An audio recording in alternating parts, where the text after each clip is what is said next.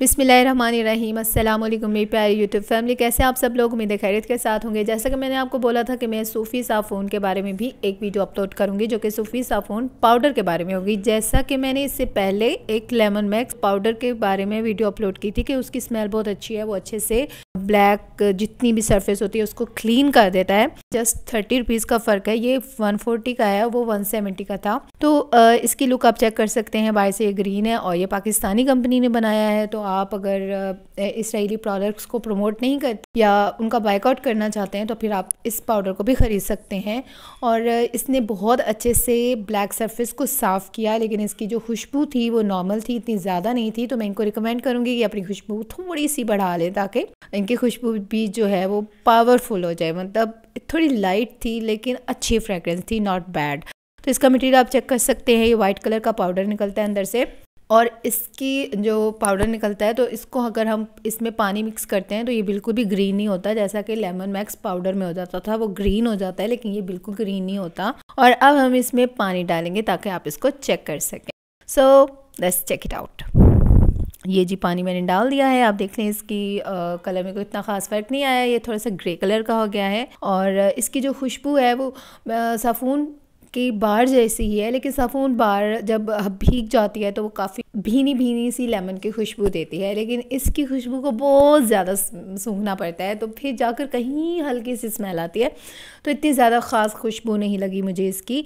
अब हम इसकी ब्लैक सरफेस आप अच्छी तरह देख लें, और इसकी ब्लैक सरफेस को हम थोड़ा सा क्लीन करेंगे तो मैंने इसको अच्छे से क्लीन किया इस बर्तन की जो पीछे वाली ब्लैक सरफेस थी, उसको पाउडर से और काफ़ी हद तक उसने इसको साफ़ किया और बहुत अच्छे से ही उसने वर्क किया था उस पर। आप इसको इस वीडियो में इसका वर्क जो है वो चेक कर सकते हैं। असल में ये जो पाउडर होते हैं ना, वो इसीलिए होते हैं ताकि वो थोड़ी सी शाइन पैदा कर दें। जो हमारा ग्लास मटेरियल होता है ना बर्तनों में, उसमें शाइन पैदा कर देते हैं स्टील में शाइन पैदा कर देते हैं। तो ये असल में ये उस मकसद के लिए होता है। थोड़ा ये स्क्रबिंग का काम करते हैं। काफ़ी अच्छा वर्क करता है। तो अब आप आपकी मर्ज़ी है आप साफ़ून बार ख़रीदें या फिर साफ़ून का पाउडर ख़रीदें या फिर लेमन मैक्स का पाउडर ख़रीदें। और ये देखें ये मैं जो आ, पेस्ट की बात कर रही थी ना ये इस तरह का पेस्ट बनता है साफ़ून से। तो मैं साफ़ून की बार ही यूज़ करती हूँ अब जब से मुझे इसका पेस्ट पसंद आया तब से। और पाउडर की फॉर्म में जब हम साफ़ून को यूज़ करते हैं तो उसकी स्मेल जो होती है वो काफ़ी ज़्यादा लाइट हो जाती है। तो मैं सूफ़ी ग्रुप ऑफ़ कंपनीज़ से ये कहना चाहूँगी कि वो अपनी इस पाउडर की जो है खुशबू, उसको थोड़ा सा इन्हांस कर दें। तो खुशबू थोड़ी सी स्ट्रॉन्ग होगी तो धोते वक्त मज़ा आता है। बर्तन धोते वक्त थोड़ा बुरा नहीं लगता, वरना तो रेत वाली ही फीलिंग आती है। तो इसलिए मेरा यही ख्याल है कि इसको थोड़ा सा खुशबू पावरफुल हो तो ये बहुत ही अच्छा है।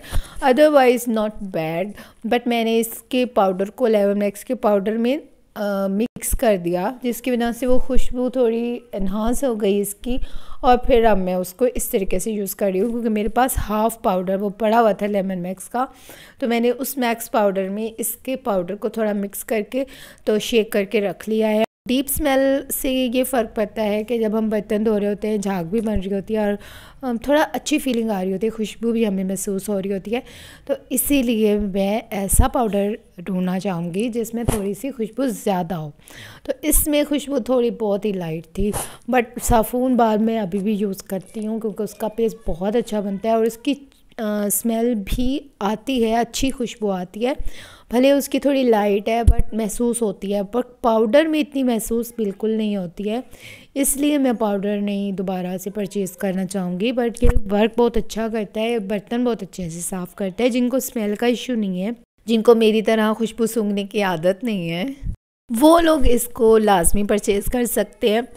क्योंकि इसकी वर्किंग तो बहुत ही अच्छी है और खुशबू चूँकि इसकी थोड़ी सी लाइट है तो इसलिए मैं इसको पहले ही आप लोगों को बता रही हूँ।